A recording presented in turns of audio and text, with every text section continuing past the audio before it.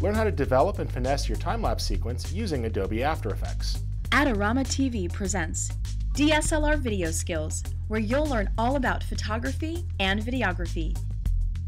Here's your host, Rich Harrington. This episode is brought to you by Adorama. If you're looking for photography, video, imaging, or tech needs, be sure to check out Adorama.com. Join me as we take a look at using Adobe After Effects to develop and touch up some of our raw files to get a time-lapse video. All right, that looks great. I'll click OK to bring that in. And it loads. There is my image sequence, just like a movie. Now let's just drop that into a new composition here. And it's much larger than I need. So I'm going to change the composition settings to match my delivery format. In this case, I'm doing HDTV. And I'll set it to the 23976 size that I need for digital delivery. There's my correct frame rate. All right. Now, as I work here, this is going to be very intense on the computer. Remember, this is 100% raw workflow. So I'm going to drop my playback quality down to quarter or even lower temporarily so I could frame the image. This will speed up After Effects, and I'll only take the hit when it comes time to render the shot. Now, some folks think this workflow takes longer, but remember, if you were going to process all those raw images with Lightroom or Bridge, you would have to still export all of those still images out. So it's about the same time for the overall render, and this preserves the flexibility of having raw right in the After Effects composition. We'll just drop that down here, take it down to quarter quality to start, S for scale, Shift A to add the anchor point property, and I can adjust. And what I'm going to do is set it so it does a little pull out. Let's take a look at the image sequence up here first. And I notice that it's currently being interpreted at 30 frames a second. So I want to change that. I'll go into Interpret Footage, Main, and assign the correct frame rate for 24p video, which is 23.976, and click OK. That's going to reassign the clip, and in this case it actually made it a little bit longer, so I can adjust the length of the composition if needed to accommodate the extra frames.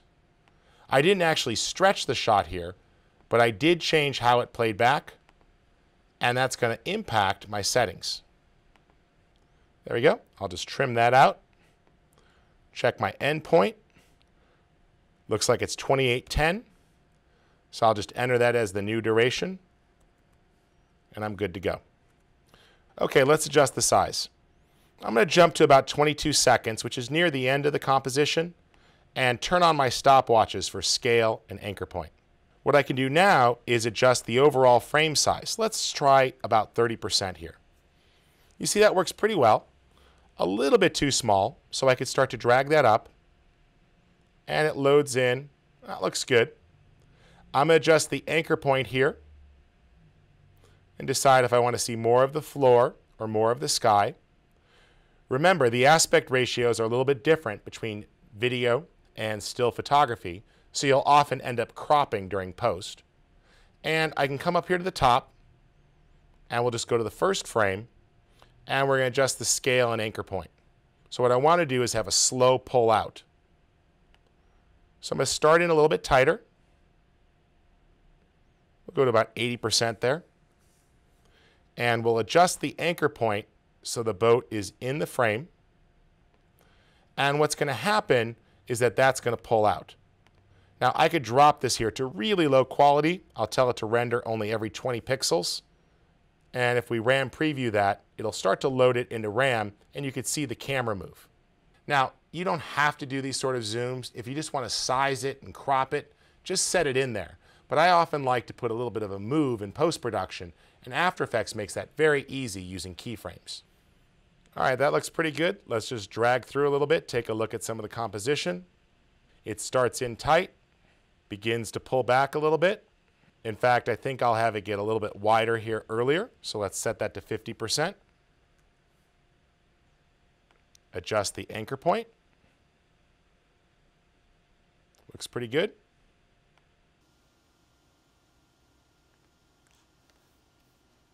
And I'll just put a little ease here. By right clicking on these, I can tell them to ease out. And then we'll do ease in at the end so it comes to a gradual stop.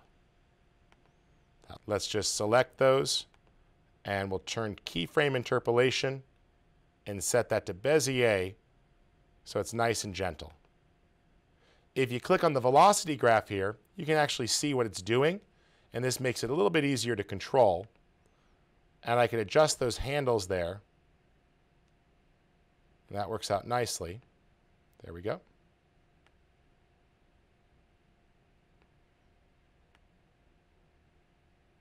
And you can use that to control the overall movement. Thanks for joining me this week. Be sure to check out the third part in our series where we're going to put all the creative touches together to really stylize this and then render and export the final time-lapse video so it's ready to post.